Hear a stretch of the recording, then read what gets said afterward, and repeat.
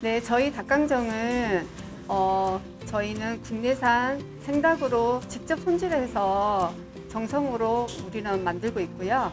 그리고 이거는 식은 후가 더욱 맛있기 때문에 식어서도 언제든지 부담 없이 즐길 수 있는 닭강정입니다. 그리고 드셔보시면 아시겠지만 양이 굉장히 많아요. 맛도 좋고요. 많이 애용해 주세요. 많이 많이 애용해 주세요.